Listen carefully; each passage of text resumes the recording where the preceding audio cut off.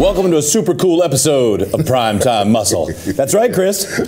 We all adopted your Now, cool. now. Tim Wilkins, Tarek Boy Elgindy, swag. and we've all swagged out like Chris Cormier. Boy swag. Let's see you get it. Get it, Tim. I see you, baby. I see you. Yeah, yeah. So uh, we've obviously been in your luggage because I don't own anything this nice. This, all again, right. this is a car payment on my You face. good? I feel ready to commit a felony with you. Well, let's steal some hearts with this one, fellas. Uh, we, we had, uh, so you and I talked about this because we each had our own experience. Uh, one of my favorite divisions for years, back to the days of Monica Brandt, Jennifer Hendershot, Adela Gar- uh, Garcia Friedmansky. Uh, she's back to Garcia. I probably have to cut that out the Friedmansky right off. Adela. Garcia. Or Adela, Adela Garcia. No, don't Uh, cut, don't cut, don't cut, don't cut, Nico. Don't cut. Jenny Worth. Uh, so many great champions in fitness over the years. Uh, Oksana Grish- Grishina, uh, you know, Whitney Jones. This year, Missy Truscott. We, we made our predictions, fellas. Tim, this I've been waiting. I have been You live for this garbage. For I love this it. freaking moment the whole time.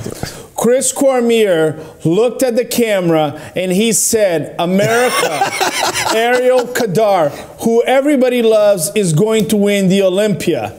And when Missy Truscott came off the stage, she looked into Chris Cormier's eyes and said, You're going to eat your words at prime time muscle. Now be a man. Well, look at that camera and apologize from the bottom of your freaking heart.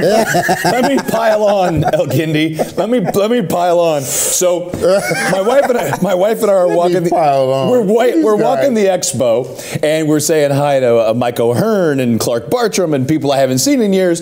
And this little blonde hand reaches over the crowd and grabs me and spins me around. And go, hey, Missy. Don't missy me. You tell that Chris Cormier Don't to miss eat his man. damn words. We need a close up. It has to be more than that. We need a close up. Get closer to him. Okay, can we get closer to There- him? there- Can he stand up and looking at the camera? That, that's you right there. There's, Go, your, go, there's your. ISO slick. Oh, wow, coming around front. Come no less. around and apologize to Missy Wow, Truscott. you're going to be out of your good lighting. And here's Chris Jackass Cormier apologizing to you. Missy. Truscott. Oh, miss. I was wrong. I was wrong about you. I didn't give you your due. I thought you wasn't going to take it. I didn't think you were going to bring your second championship home. I'm sorry. These guys made me a fool. You made me a fool. And uh, I'm a fool. I'm sorry. Oh, man, Okay. that was that was heartfelt. That was really good. Shit. You know what? It, you know what it felt like because it was it was it was meant. It felt like the confession at the end of an episode of Cheaters. Oh my God! Yeah, I was- was, it was not good. impressed. That was- I didn't know he. I'm sorry. Uh, that was very heartfelt, Chris. I'm sorry. I, I think Missy's going to be happy with this apology. All right, so here's what we're gonna do. We're gonna see how she won that championship and her got her title back. And it's always a very Hell, that sad. happened. Uh, well, well, let's look. It's Um, very simple, Chris. She won the Olympia in 2020. Yeah. Okay. And, And- the girl who beat her, Whitney Jones, was not there. Ah. well, and Oksana had to bow out with her ankle injury. Let me tell you, the with the backstage was not outfit. the biggest, and she had the shark backstage. Ah, see. Oh, I boy. didn't, I didn't know she was going to come I out. had some bodybuilders that wanted to eat thinking it's I tilapia. I didn't know she was going to come out with the shark and then kept the face on. I didn't know that. You didn't tell me that. I think it scared Chickarillo a little bit. Here, here she comes with the face. Look at that. Just jumping around. like a boss. But here's what's always here's what's always impressed me about this division, and she personifies Ah, this. dang. To be able to do this, this conditioned with this amount of muscularity, with this amount of leanness, has always impressed me. her physique on her physique is unparalleled. It might be the best physique. Now, one thing about Missy Truscott and Whitney Jones and Oksana have that, and Ariel has joined, is the complete energy. Look at that. Look at the strength. I mean, you look at that. Now, she does not miss one transition. And let me mention second place, Jacqueline Baker. She was awesome, and she goes, You guys, jackasses, better start talking about me on Primetime Muscle. And Jacqueline Baker, we're going to talk about you. But Missy does not miss one single transition, is energy from the beginning to the end. She's a phenomenal athlete, Man. and she Damn. brings the house down. Damn. Now, Hey, whoa. I was lucky to have. See, Uh, I didn't know she was bringing all that. I mean, what did you think she was going to bring? Well, she stayed in character. Also, I like that staying in character the full the full time out there. I love I didn't- I the, didn't the, the mask. I'm not quite sure about that big fish that we had to carry backstage, but I love the mask. And she looked like she's capable of carrying her own fish. Thank you.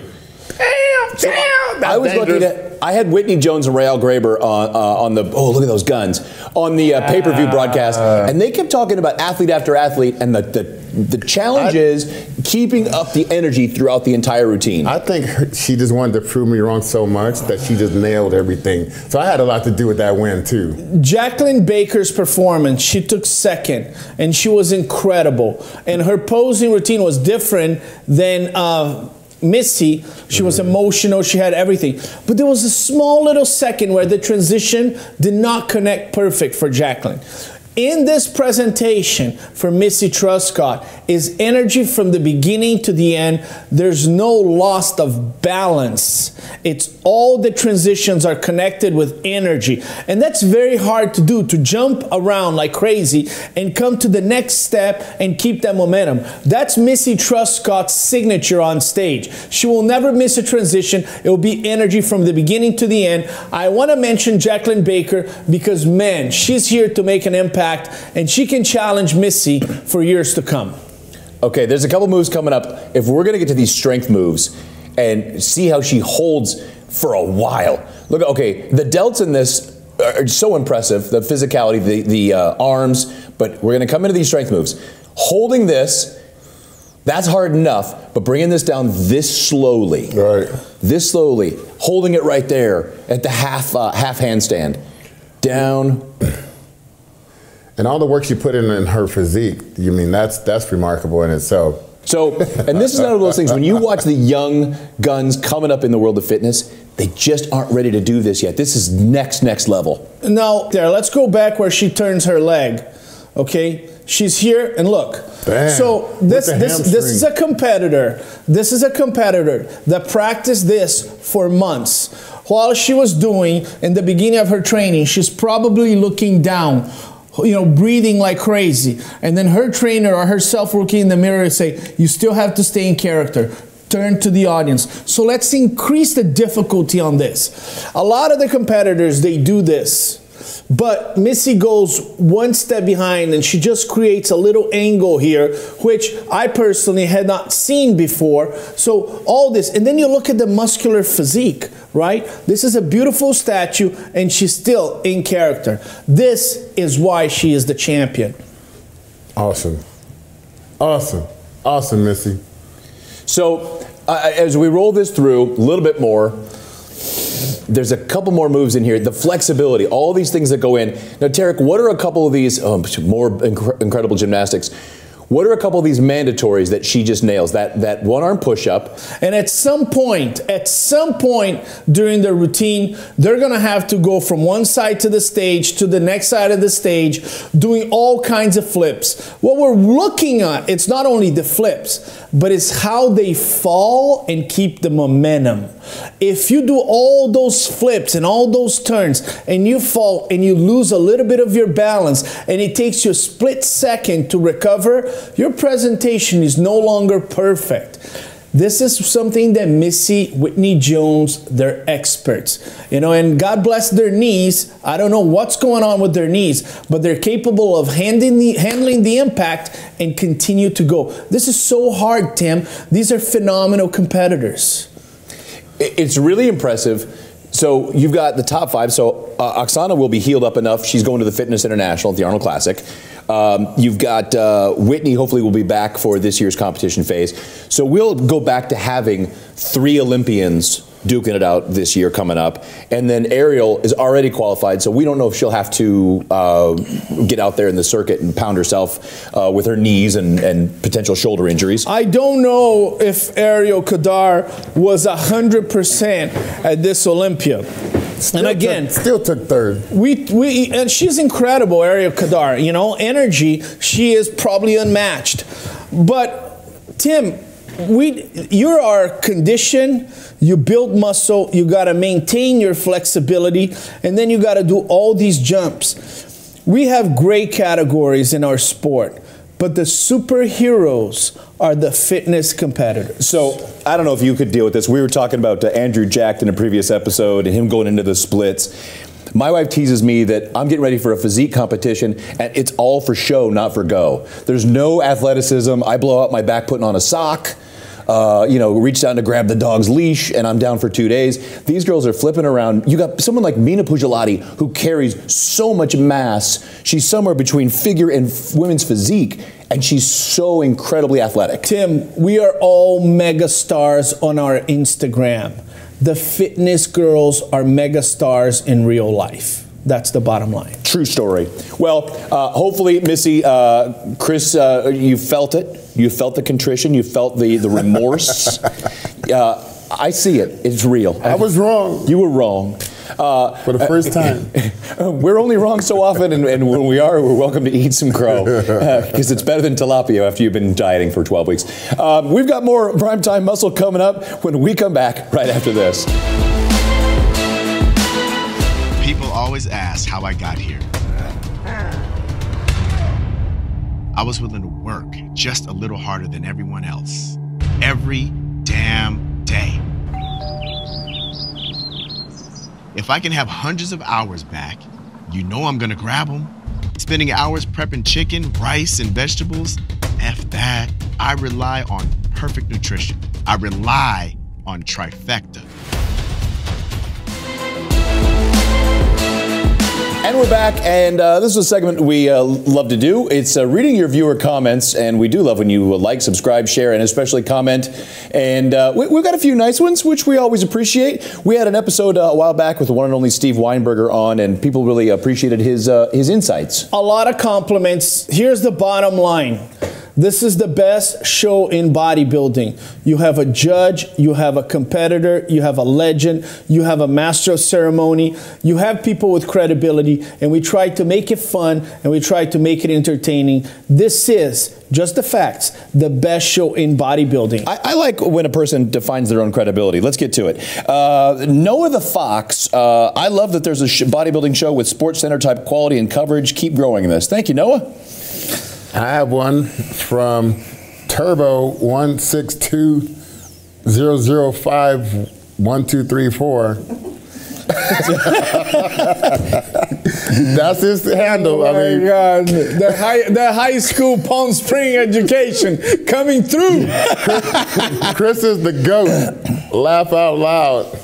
That these damn physique guys jumping around, jumping every other second, looking like selection of a, of a of a character menu. Hit the damn pose and stop effing around and move. Okay, that was great. Thank you, thank you for your uh, English contribution. Okay, here's Dennis Mitta. No idea who started it, but we're already. Well, we're all really glad to see Olympia officials doing some really high quality discussions and breakdowns. Tarek, you're the man. Thank you. Great effort this year on connecting the IFBB Pro League to the athletes in terms of media. We are here to show you guys transparent why this guy won, the reason why he won, and as judges, we want you guys to know we are here to show pure transparency. Transparency. I love I love how you guys cherry pick your own compliments. Here we go. Uh, thanks for the show. As a fan and competitive bodybuilder, I do enjoy it a lot. Thank you, Vladimir Markov, uh, for for watching the show and sending this nice comment. And keep watching. Raymond Jones. Great interview. I like the upgraded camera they had on Chris.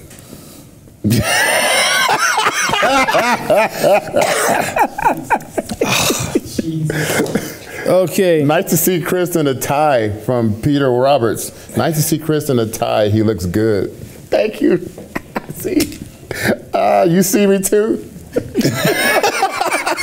This this was probably our best episode because I'm trying to find something negative about Chris and I can't.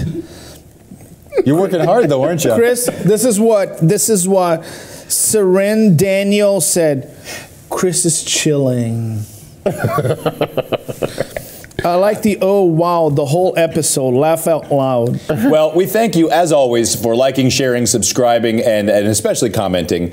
Uh, so, so thank you for that. But uh, now, now diving back into uh, someone that at the uh, one of the there's a few different spots if you go to an Olympia that are irreplaceable that you're not going to get on the pay per view. Uh, the press conference is one of my favorites. Another one of my favorites is Meet the Olympians. And this competitor had a line around the block, probably the single longest line by two or three times, Francielle Mattos. Every woman in the world wants to have her butt. That's the that's the bottom line. Women are not shy about it. They look at her hair, her makeup, her butt, how she poses, and they want to be like her. That's a fact.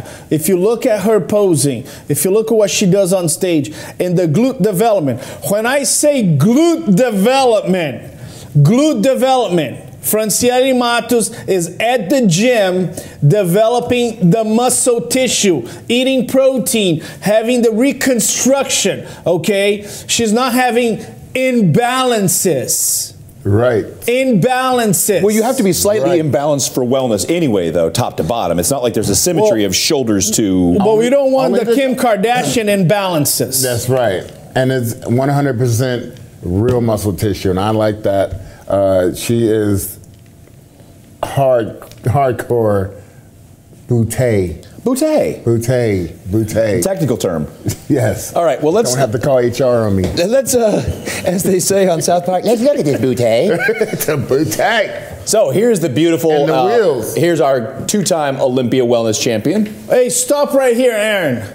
Same thing, same thing. The, the wellness girls are a little bit more, a little bit friskier than the bikini girls. And but you can see that Francielle Mattos' walk is not as crazy as some people. It's just a regular walk. They touch their hair a little bit more than the bikini girls, which I advise them to be very cautious with that. But Francielle Mattos, her walk brings a little bit of that simplicity that we saw with Maureen Blanquisco.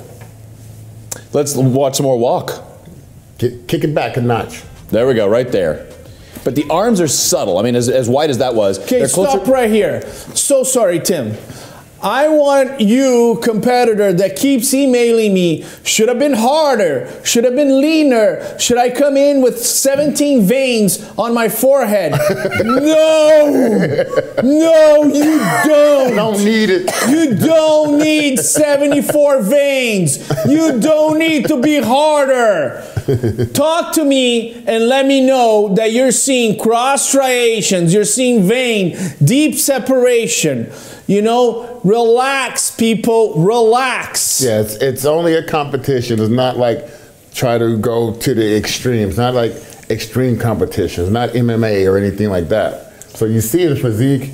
I mean, she's been working on the physique. You see, she has all the body parts in place. She is the best in the world at this time. But there has to be, so to really define again for us as we talk about the gold standard, the one that you're building the judging on for the rest of the year, top to bottom, and, and we're going to get her to do that turn to the side, which she'll do here shortly, and show us, you know, the imbalance from top to bottom. Well, Boom. Boom. I see you. there it is right there. Ah, right there. That's the, that's the shot. So the lower half is more developed than the upper half. Now there's two factors for this. Women by nature, because they they are made to give birth, they tend to carry more body fat on their hips. That's why you see a girl with jeans, you know, their butts are bigger than ours. That's just um, He's pushing some limits in today's society. I don't even know if you can say that. Women women give birth? Is that what you're trying to say? Yes. All right. I'm, So- gonna, I'm gonna go with that. Do I'm not cancel me. Do not cancel me. But that's what I learned in school that women are the ones that give birth. Or whoever identifies as women. you gotta She, say that. she has two kids. You gotta so She has two she kids. has given birth. So my assumption is that she's given birth to Yeah. two kids. Yeah. So they accumulate more body fat in this region, right? So when you actually work out the legs and the glutes, because you already have that natural body fat that your body accumulates more than usual, it becomes, you know, quite voluptuous. So the wellness division, the wellness division was created to um, accommodate a certain type of women genetic that's very common. It's the girls that have the legs and the glutes. Their bodies are formed this way, and we don't want them to, you know, burn all that muscle to be in bikini. The bikini girls are, they tend to be a little bit more petite. And here, Francielle Mattos is one of those. She's a mother, she's a wife, she carries a little bit more muscle and body fat here, and that imbalance is perfectly fine. I'm hoping in this generation we don't have a men's division like this where the testosterone has spilled over without an estrogen blocker and you got a lot of hips and booty going on. So let's keep this going just a touch more in her individual. And you see, I love the side pose, I love the walk. Okay, okay. I'm so sorry. I'm passionate about it. Go back here, Aaron. Go back a little bit on the side pose, okay? Go back. Want you, okay. So, Nice. if your if your glute America And world. If your glute world Brazil, if your glute starts here and goes all the way here. Let's put Chris Cormier's head right here. Okay? If your glute starts here and goes all the way here, we're gonna call that an imbalance, okay? He just made you That's head. gonna be an imbalance. There is a natural progression of the glute and the indentation which leads to the hamstring, okay? If you have just a plain separation here, which takes away the natural indentation, we've seen this with bodybuilders, female bodybuilders. There's a natural indent. You develop the glutes, but it's still, they connect naturally to the hamstring. Do not come in with this crazy imbalance because that is imbalancing your physique. And talk about come in. Girls, work on them legs before you go up there so we're not looking at, you know, like an, an overweight bikini competitor. You have to build big quads, big glutes. Take the time and do so. Then get in the show. Yeah, I mean, I understand you want to compete, but finish the product and then let's see some quads and let's see some hamstrings and let's see some real good glutes. And we talk about this problem with some of the men's competitors in different ways, trying to cut corners and speed the process up. Yeah, don't don't be cutting corners. If you cut corners and go It any kind of time. glute implant, which when you lean up, it gets more obvious that it's not yours. And it gets more obvious there's not striations or cuts or separation. Do the work. Tim, I don't know if it's an implant. I don't know if it's an injection. I don't know. All I can do is judge what I see. And if we see some imbalances, you are not going to be placing very high. Let's see somebody who doesn't have any imbalances on their back pose. Let's let's finish up her routine we'll finish up this segment. let's enjoy this routine, shall we? It is so beautiful and so subtle. There's such a subtlety. Nice the move of the little- Look at- hair. okay, stop That's a right nice here. little turn. Natural indentation of the glutes leading in to the hamstrings.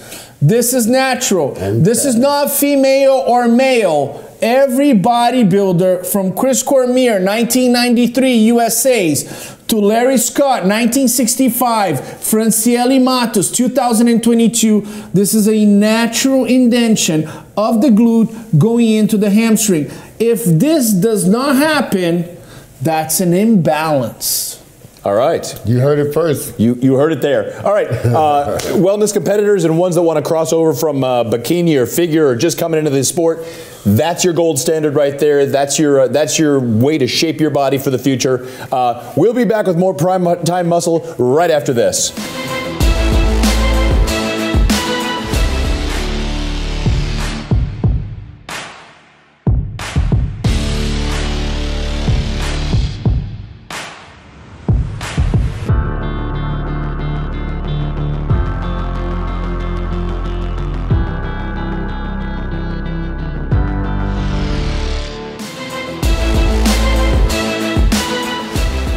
It was a great Olympia in a new venue, back to Las Vegas, uh, guys. There was a whole lot of thoughts. Everybody's got an opinion, we, you know, there's a lot of uh, phrases that say what opinions are like.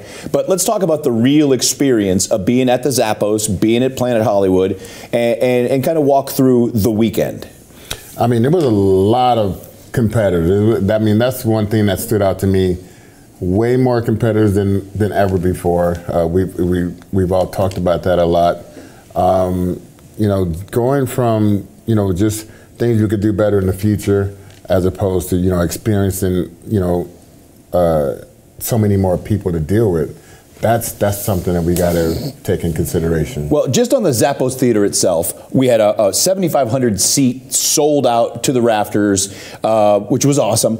But I had friends in different parts of the Zappos, and every one of them said it was a beautiful place to watch a show. Record number of pay per view, incredible venue, incredible event. And uh, Las Vegas, remember, Tim, for the longest time, we were listening to a lot of people tell us, well, we're not on the strip. We're not on the strip. Now you are on the strip. People could cross the street, go to restaurants. The hotel was very nice. The Zappos vision. I heard so many people saying I had the best seat in the house. Let's talk about some of the negatives. Somebody said, hey, the backstage was too small. They are right. The backstage was a well, bit small. Tarek, was the backstage too small, or is it the fact that it was yeah. a little smaller with more competitors well, than any time in history? Let's, let's address that. We're not going to back down. The backstage could have been bigger. And here's what happened you have a number of competitors, 400. So at this point, you have to move the back walls a little bit back, right? People don't know all the technicality that happens. They just go on the internet, all these start, trolls. Start chirping. They, they, they just go there, start typing. They have all the porn subscriptions, and then they go, I'm tired. Let me just write something negative here. the back wall needs to go a little bit further once you have a lot of competitors. That's a technical decision that anybody with the right mind will say. And that limited a little bit of the place um, for the backstage. So you're saying the stage, they gave too much room for, this, for the competitors? Because of the number of competitors. Yes. Now, a lot of competitors, they came up to me and they said, hey, when do I come back? And I told them, hey, you come back in about two hours. Do I think that maybe with the timing we can get better? Absolutely. Do I think the backstage could have been better? Absolutely. But the reality is, it was a fantastic show that accommodated 400 competitors on the Las Vegas Strip with record number pay per view, record number ticket sale, and people loved their seats watching the show. Of, and a lot of people are talking about how late the show was. Can you talk about that? Well, yes. You have to take in consideration a few things. Some people go, well, put the bodybuilding at 1 p.m. so everybody can watch. You know, I've promoted over 100 shows, okay? In the amateur ranks, the most popular classes are bikini, they're bikini and men's physique. You usually put the bikini last. Why? Why? Because you want most of the audience to stay. That helps your sponsors. That helps everybody, okay? So you put the bodybuilding first, and everybody's talking about, well, the bodybuilding is the priority. It is the priority, jackass. It is the priority. And that's why we put last, so we can get all that traffic throughout the day watching and waiting for the bodybuilding. For you, jackass, that never wrote a check, you just wrote the back of a check. You never promoted. You need to know these things. You keep the best for last so it carries over all those people to watch. So then once the bodybuilding comes in, just like the UFC, you don't have the Conor McGregor fighting in the beginning so that somebody on the other side of the world can watch. You save it for last so everybody waits for that. And well, and also uh, I've competed um, competed in most shows like around the world Sometimes we are jet lagged, sometimes not perfect conditions. Sometimes we got to go out there without a pump, without oil. We've done all these things, and we wasn't complaining that oh we all we all start and finish the same time. So we're all going through the same thing. The person who is more mentally uh, uh, strong to handle these things they're probably, probably going to prevail. But we didn't always have perfect conditions. We had we were late on a plane. We were uh, going to another country to compete. We also uh, we came one second, buddy. Uh, we also well, I'm deferring back to you. yeah. So what I was saying, like it was never always perfect, but I mean, be prepared. Have enough food when you go backstage. Everyone's professional here, so have enough food. Be ready for anything and everything and be mentally ready to take on the best in the world. But you've said this on an episode and uh, with us working out and hanging out that the, the thing it is, you can complain all you want, but everybody in each division was equally advantaged or disadvantaged with everybody else in their division. It's all come Great point. Here, brother. Great point, Tim. Nobody had an advantage because everybody had to wait a little bit longer. Now, Tim, I'm not saying that it's not something we can look at it and improve for the 2023 Mr. Olympia. That's not what I'm saying. I'm recognizing that if we have a better time frame, the bodybuilders and all the competitors will come in a little bit later and will be better for everybody. And also, I heard people saying some something cut you up. I also heard you know about the weather. It was cold. Guess what? When you go to Arnold Classic, it's cold as hell. Did I like being lean and getting ready for a show? No, it's not my favorite time of the year. But I did it anyway, and I did it ten times. I can't tell you how many And- Arnold's I've been to where it was and- snowing. And Yeah. you know what, Tim? It goes back to what Chris saying. When Chris was competing, these guys would do the Russian Grand Prix, the Finland Grand Prix, the German Grand Prix. They would be just competing and adapting to all different kinds of environments, Different foods. flying, trying to find food, sharing food. Nowadays, some of these guys they compete one time. Okay, they want to make sure that they know exactly the time they go on stage. You know, they want a masseuse back there for their feet and somebody doing their nails. Brother, it's not going to happen. Okay, just like in the NFL, if there's an injury, the people are going to wait 30 minutes until that guy gets carted off the field, and you're gonna have to stay warm and throw that ball again. The same thing happens in soccer. Am I saying that we can't improve on the timing? That's not what I'm saying. What I'm saying is that you, as a professional athlete, you need to be ready for contingencies. And you gotta the deal with it. contingency is gotta if you if the first call out takes three minutes, you need to be ready if you're on the second call out. If the first call out takes 15 minutes, you still need to be ready. And even when you go up there to compete, you go up there and you know you, you show yourself first. So you do your th- your 30 30 sec or a minute routine. You have to wait till all these guys go up. So what are you going to do between that time and where the time you're going to go back out to to uh, get the comparisons? You got to be ready for that. You don't know how long it's going to take. So here, here's another thing to throw at you guys. So you're talking about the technicality of moving the backstage of the stage wall forward or back to accommodate the backstage. But then you had some divisions, even though they did prejudge and only top 10 got to pose, whether it was men's open or some of the other ones when they did the confirmation round, and you had 30 to 40 people. Classic Physique, I think, had 38. Men's Physique had over 40 around in there, where you've got to have all those guys back to back on two diagonals. You have enough to have enough stage space to even do the call outs. So where's that happy medium with accommodate the people, you know, that are the tan corpses backstage on their yoga mats versus the people that are actually standing out there in their quarter turns? Tim, I, I, I have to say that I would have made the same choice. I would have given the priority to the stage because Steve Weinberger is going to have to do a call out where he has how many bodybuilders did we have? 37? 37. So you split 18 guys, 17 guys on either side. You don't want that stage to look small, crowded, and ugly. So my choice would be we are in an awesome venue. Let's compromise a little bit on the back to make sure the show looks great. With that being said, if we have a better time frame that when these competitors should be arriving, right, then it would be better for them because you would have less people backstage, and that's something we are already working on it, okay? And we're gonna make it even better. But let's look at the positive. We're on the strip. Planet Hollywood, Paris, amazing hotels. Better they were better than Orleans, better food. The venue was awesome. Record pay per view. I was talking, you know, I heard Jose Raymond on a podcast goes, Man, I had the best seat in the house. That's what everybody was saying. You know, it cost a lot of money to be doing a show in that kind of venue, and it will never be perfect. It has never been perfect. This was not perfect, but it was freaking great. And also, people said on some podcasts they had to go outside and then back in. You know, some of these things can be worked on. I'm sure in the future won't be the same same mistakes happening, but everything is being looked at and everything is being worked on. We've got a few minutes, and Chris and I are uh, eager to find this out as the pros and the uh, amateurs that are trying to get into the pro ranks. You talk about narrowing down the amount of people that will step on that Olympia stage. There's a new qualification system in place. Can you give us a quick insight into? There's no more point system. So before we had three uh, competitors that qualified for the point system. So we're not going to have that, you know. Um, which I think is great. Across I nine divisions, that's 37 took- right off the bat. If you took fourth, uh, 65 times third place, that doesn't mean you should be in the Olympia. Um, it's the harsh truth, but you want the best of the best. Another thing that people have taken consideration is because the show was in December, and people don't know this. People just go on the internet, say stupid stuff. They don't know that. You know, we had an agreement With- back with during the COVID Zappos too, right? during COVID.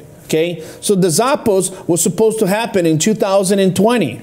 Now you still have an agreement that you have to fulfill. That's why we did the Zappos Theater in 2022. Now you got to find a date in 2022, which was not your original year, and then you push back to December. What happens in December? Six more qualifying people weeks. qualify. Yeah. more people qualify. What are you going to tell them? Are you going to say, "Hey, listen, you want to show in August 2022, but we're not going to qualify you. You're going to have to wait to 2023." That's not what you do. You have a contingency plan. You get a bigger stage. You compromise in the backstage, but you change. You adapt. The NFL does that all the time.